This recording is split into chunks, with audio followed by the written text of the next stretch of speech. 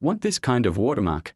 Then don't worry, today I will teach you how to give this kind of watermark. You don't need to download any apps. You can only do this by CapCut. First choose a black background. When you are done then go to the background option, right here. Select a color. Add the color green. Then remove the black background like this.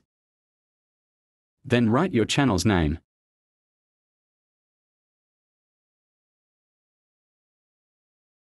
Then take a screenshot.